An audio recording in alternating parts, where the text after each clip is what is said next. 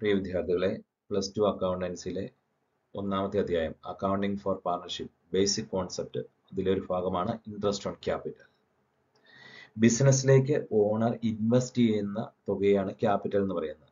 The amount invested by the owner in the business is known as capital ബിസിനസ്സിൽ owner invest ചെയ്യുന്നതിന് പ്രതിഫലമായിട്ട് business profit കൊടുക്കുന്നുണ്ട്. കൂടാതെ ക്യാപിറ്റലിന് പലിശയും കൊടുക്കാറുണ്ട്. Interest on capital is paid to partners as compensation to their capital contribution to the firm. Interest on capital is an expense to the firm. ഫേമിനെ സംബന്ധിച്ച് ഇതൊരു എക്സ്പെൻസ് ആണ്. And a gain to partners individually പാർട്ട്നേഴ്സിനെ സംബന്ധിച്ച് വ്യക്തിപരമായിട്ട് ഇതൊരു ഇൻകവുമാണ് no interest is allowed on partners capital unless it is agreed between partners partnership ഒരു എഗ്രിമെന്റിന്റെ ഫലമാണല്ലോ. ആ എഗ്രിമെന്റിൽ ഈ പാർട്ട്നേഴ്സ് തമ്മിൽ ആ എഗ്രിമെന്റ് ഇൻട്രസ്റ്റ് ഓൺ ക്യാപിറ്റലിനെ പറ്റി പൂർണ സമ്മതത്തോടെ അവർ തമ്മിൽ ഒരു ധാരണയിൽ എത്തിയെങ്കിൽ മാത്രമേ ഇൻട്രസ്റ്റ് കൊടുക്കാറുള്ളൂ. അല്ലാത്ത പക്ഷം ഇൻട്രസ്റ്റ് ഓൺ ക്യാപിറ്റൽ കൊടുക്കാറില്ല. Interest is generally calculated on opening capital and is credited to capital account interest on capital opening ക്യാപിറ്റലിനാണ് interest കാണുന്നത്. കാരണം ചില കേസിൽ അഡീഷണൽ ക്യാപിറ്റൽ കോൺട്രിബ്യൂഷൻ വരാറുണ്ട് ക്യാപിറ്റൽ വിഡ്രോവൽ ഒക്കെ വരാറുണ്ട്. അന്നേരം ഓപ്പണിംഗ് ക്യാപിറ്റലിനാണ് ഇൻട്രസ്റ്റ് ഓൺ ക്യാപിറ്റൽ കാണുക. കൂടാതെ അഡീഷണൽ ക്യാപിറ്റലിന് എന്നാണോ ക്യാപിറ്റൽ കൊണ്ടുവന്ന അന്ന് മുതലുള്ള ഇൻട്രസ്റ്റ് കണക്കാക്കേണ്ടതുണ്ട്. ക്യാപിറ്റൽ വിഡ്രോ ചെയ്തിട്ടുണ്ട്. ആ വിഡ്രോ ചെയ്തയിടം വരെ ക്യാപിറ്റലിന് പലിശ കൊടുത്താൽ മതി. അതിന് ശേഷമുള്ളത് ഒഴിവാക്കണം. If some additional capital is introduced during the year the interest on additional amount should be calculated based on the time for which the amount remains in the business എന്നാണോ അഡീഷണൽ ക്യാപിറ്റൽ കൊണ്ടുവരുന്നത്? അന്ന് മുതൽ closing date വരെയുള്ള ഇൻട്രസ്റ്റും കാണേണ്ടതുണ്ട്. Interest on ക്യാപിറ്റലിന് ഉള്ള ഒരു കണ്ടുപിടിക്കാനുള്ള equation ഇതാണ് capital of the partner opening capital into rate എത്ര പെർസെന്റേജ് ആണ് പലിശ പറഞ്ഞിരിക്കുന്നത്? Into period for which amount remained in the business എത്ര നാളാണോ ആ ക്യാപിറ്റൽ ബിസിനസ്സിൽ ഉണ്ടായിരുന്നത്? ആ കാലയളവിൽ. ഫുൾ ഉണ്ടെ ഫുൾ ഇയറിന് എന്നാണ് പിൻവലിച്ചിട്ടുണ്ടെങ്കിൽ അത് ഒഴിവാക്കി. അഡീഷണൽ ക്യാപിറ്റൽ കൊണ്ടുവന്നിട്ടുണ്ടെങ്കിൽ കൊണ്ടുവന്ന അന്ന് മുതൽ ക്ലോസിംഗ് ഡേറ്റ് വരെ. അങ്ങനെയാണ് ഇൻട്രസ്റ്റ് ഓൺ ക്യാപിറ്റൽ കാണേണ്ടത്. ഇവിടെ ചില കേസിൽ ക്ലോസിംഗ് ക്യാപിറ്റൽ തരും ഓപ്പണിംഗ് ക്യാപിറ്റൽ നമുക്ക് തരാറില്ല. പക്ഷേ ചില അഡ്ജസ്റ്റ്മെന്റിനെ പറ്റി പറയുന്നുണ്ട്. ഡ്രോയിങ്സ് ഡെബിറ്റ് ചെയ്ത കാര്യം പറയാറുണ്ട്. ഇൻട്രസ്റ്റ് ഓൺ ഡ്രോയിങ്സ് ഡെബിറ്റ് ചെയ്തിട്ടുള്ള കാര്യം പറയാറുണ്ട്. ക്യാപിറ്റൽ പിൻവലിച്ചിട്ടുണ്ടെങ്കിൽ ആ കാര്യം പറയാറുണ്ട്. ഷെയർ ഓഫ് ലോസ് വന്നിട്ടുണ്ട് അത് ഡെബിറ്റ് ചെയ്തിട്ടുണ്ടെങ്കിൽ ക്യാപിറ്റൽ അക്കൗണ്ട് ഡെബിറ്റ് ചെയ്തിട്ടുണ്ടെങ്കിൽ ആ കാര്യം പറയാറുണ്ട്. അഡീഷണൽ ക്യാപിറ്റൽ കൊണ്ടുവന്ന കാര്യം ചില കേസിൽ പറയാറുണ്ട്. പാർട്ട്നേഴ്സ് സാലറി ക്രെഡിറ്റ് ചെയ്തിട്ടുണ്ടെങ്കിൽ അത് പറയാറുണ്ട്. പാർട്ട്നേഴ്സ് കമ്മീഷൻ ക്രെഡിറ്റ് ചെയ്തിട്ടുണ്ട് അത് പറയാറുണ്ട്. ഷെയർ ഓഫ് പ്രോഫിറ്റ് ക്രെഡിറ്റ് ചെയ്ത കേസ് പറയാറുണ്ട്. ഇതെല്ലാം പറഞ്ഞെന്നില്ല ഇതിൽ ചില ഐറ്റംസ് വരാം. അന്നേരം നമ്മൾ ഇത് ഈ ടേബിൾ എന്ന് പറയുന്നത് ക്ലോസിംഗ് ക്യാപിറ്റൽ തന്നിട്ടുണ്ട്. ഓപ്പണിംഗ് ക്യാപിറ്റൽ തന്നിട്ടില്ല. അതായത് നമ്മുടെ ഇവിടുത്തെ ടാർഗറ്റ് ഓപ്പണിംഗ് ക്യാപിറ്റൽ കണ്ടെത്തുക എന്നുള്ളത്. ഓപ്പണിംഗ് ക്യാപിറ്റലാണ് ലാസ്റ്റ് കണ്ടെത്തേണ്ടത്. അതിനുവേണ്ടി നമ്മൾ ക്ലോസിംഗ് ക്യാപിറ്റൽ ആദ്യമേ എഴുതുന്നു.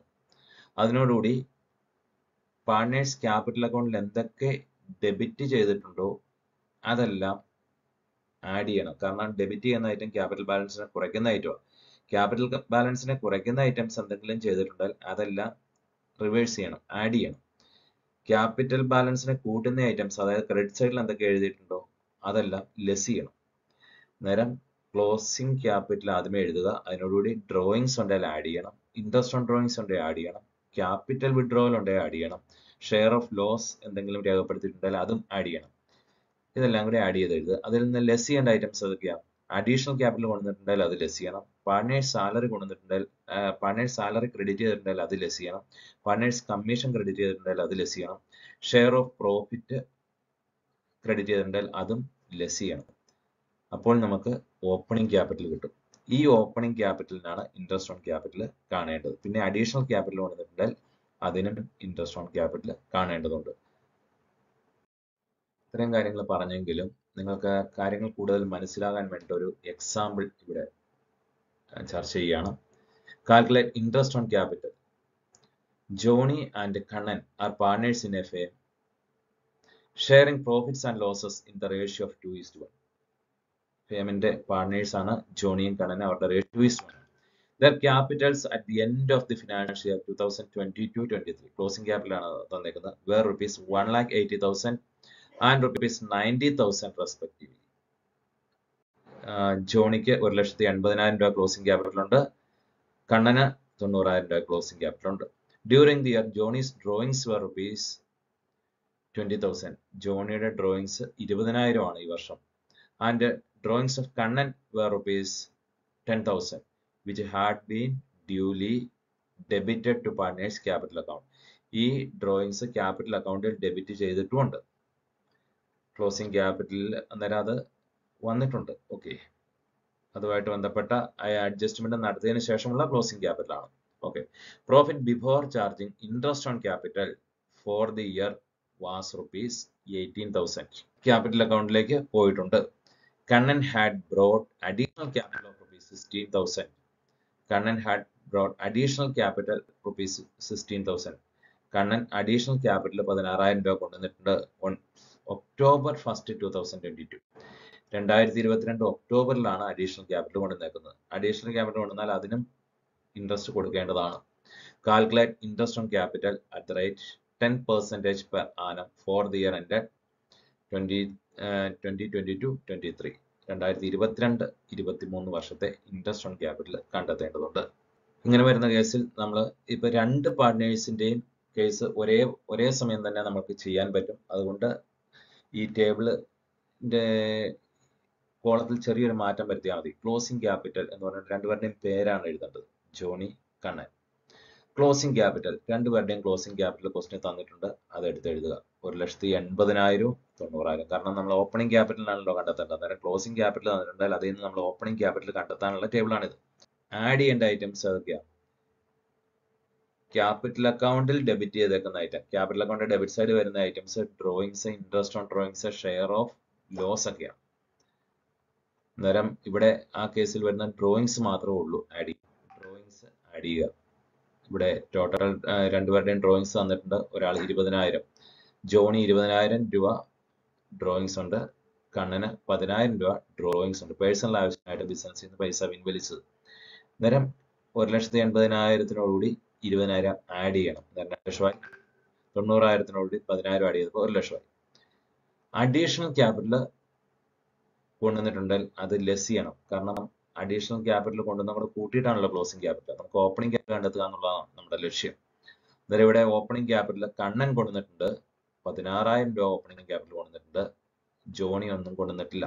കാരണം ജോണിയെ സംബന്ധിച്ച് അഡീഷണൽ ക്യാപിറ്റൽ ലെസ് ചെയ്യാനില്ല. കണ്ണനെ സംബന്ധിച്ച് പതിനാറായിരം രൂപ ലെസ് ചെയ്തു. അപ്പോൾ കണ്ണന്റെ അഡ്ജസ്റ്റ് ചെയ്ത് കഴിഞ്ഞപ്പോൾ എത്ര വന്നു? എയ്റ്റി ഫോർ തൗസൻഡ് ആണ്. ജോണിയെ സംബന്ധിച്ച് മാറ്റമൊന്നുമില്ല ടാഗ് തന്നെ ഇതിനോടുകൂടി ഷെയർ ഓഫ് പ്രോഫിറ്റ് ഉണ്ട്. ഷെയർ ഓഫ് പ്രോഫിറ്റ് ക്രെഡിറ്റഡ് എന്നാണ്. ക്രെഡിറ്റ് ചെയ്തിട്ടുണ്ട്. ഫൈനാൻസ് ക്യാപിറ്റൽ അക്കൗണ്ടിൽ ക്രെഡിറ്റ് ചെയ്തിട്ടുണ്ട്.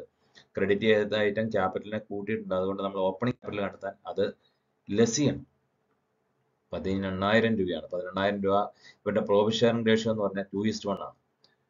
അന്നേരം eighteen thousand into two by three two by three എത്ര വരും? പന്ത്രണ്ടായിരം രൂപ വരും. പന്ത്രണ്ടായിരം രൂപയും കണ്ണന് ആറായിരം രൂപയും. കണ്ണന് ആറായിരം രൂപയും. അന്നേരം അതും കൂടെ ലെസ് ചെയ്ത് കഴിയുമ്പോൾ എത്ര വരും? ഓപ്പണിംഗ് ക്യാപിറ്റൽ ഒരു ലക്ഷത്തി എൺപത്തി എണ്ണായിരം രൂപ ജോണിക്കും കണ്ണന് എഴുപത്തി എണ്ണായിരം രൂപയും. അന്നേരം ഇൻട്രസ്റ്റ് ഓൺ ക്യാപിറ്റൽ കണ്ടെത്തുക. ഇൻട്രസ്റ്റ് ഓൺ ക്യാപിറ്റൽ കണ്ടെത്താൻ interest on capital of Johnny opening capital നമ്മൾ അതിനു വേണ്ടിയാണ് ഈ ടേബിൾ വരച്ചത്. അങ്ങനെ നമ്മൾ ഓപ്പണിംഗ് ക്യാപിറ്റൽ കണ്ടെത്തി. Into rate ten percentage rate ten percentage into പിന്നെ എന്താ പറഞ്ഞേക്കുന്നത്? പീരിയഡ് എത്ര കാലയളവ് ഈ ഓപ്പണിംഗ് ക്യാപിറ്റൽ ബിസിനസ്സിനുണ്ടായിരുന്നു ഓപ്പണിംഗ് ഡേ മുതൽ ക്ലോസിംഗ് ഡേ വരെ ഉണ്ട്. അതുകൊണ്ട് പന്ത്രണ്ടിൽ പന്ത്രണ്ട് മാസം. പന്ത്രണ്ടിൽ പന്ത്രണ്ട് എന്ന് പറഞ്ഞാൽ വൺ ആണല്ലോ. അത് അതുകൊണ്ട് ഇങ്ങനെ വൺ ബൈ വൺ രേഖപ്പെടുത്തിയില്ലെങ്കിലും കുഴപ്പമില്ല. അതുകൊണ്ട് എങ്ങനെ എഴുതണം? One lakh eighty eight thousand into ten കിട്ടാൻ നമുക്ക് ഒരു വർഷത്തെ കിട്ടും. പതിനെണ്ണായിരത്തി എണ്ണൂറ് രൂപയാണ് ഇൻട്രസ്റ്റ് ഓൺ ക്യാപിറ്റൽ അതേപോലെ interest on capital of Kannan കണ്ണന്റെ ഇൻട്രസ്റ്റ് ഓൺ ക്യാപിറ്റൽ എന്ന് പറഞ്ഞാൽ ഓപ്പണിംഗ് ക്യാപിറ്റലായ എഴുപത്തി എണ്ണായിരത്തിന് പത്ത് ശതമാനവും അത് ഒരു വർഷത്തേക്ക് കാണണം. പ്ലസ് ഇവിടെ ഒരു പതിനാറായിരം രൂപ അഡീഷണൽ ക്യാപിറ്റൽ കൊണ്ടുവന്നിട്ടുണ്ട്. പതിനാറായിരം രൂപ കൊണ്ടുവന്നേക്കുന്ന ഫസ്റ്റ് ഒക്ടോബറിലാണ് ഇത് രണ്ടായിരത്തി ഇരുപത്തിരണ്ട് ഇരുപത്തി മൂന്നല്ല മാർച്ച് മുപ്പത്തൊന്ന് ആകുമ്പോഴത്തേക്കും ഒക്ടോബർ നവംബർ ഡിസംബർ ജനുവരി ഫെബ്രുവരി മാർച്ച് മൂന്ന് ആറ് മാസത്തെ. അങ്ങനെ seventy eight thousand into ten percentage ഒരു വർഷത്തെയും പ്ലസ് പതിനാറായിരം രൂപ അഡീഷണൽ ക്യാപിറ്റലിന് പത്ത് ശതമാനം പലിശ വെച്ച് പന്ത്രണ്ടിൽ ആറ് മാസത്തെയും കാണണം. അന്നേരം ഏഴായിരത്തി എണ്ണൂറ് രൂപ പ്ലസ് എണ്ണൂറ് എണ്ണായിരത്തി അറുന്നൂറ് രൂപയാണ് കണ്ണന്റെ ഇൻട്രസ്റ്റ് ഓൺ ക്യാപിറ്റൽ അന്നേരം ക്ലോസിംഗ് ക്യാപിറ്റൽ തന്നിട്ട് ഓപ്പണിംഗ് ക്യാപിറ്റൽ കണ്ടെത്തി ഇൻട്രസ്റ്റ് ഓൺ ക്യാപിറ്റൽ കണ്ടെത്തുന്ന ഈ പ്രോബ്ലം ഈ ക്വസ്റ്റ്യൻ നിങ്ങൾക്ക് മനസ്സിലായെന്ന് വിചാരിക്കും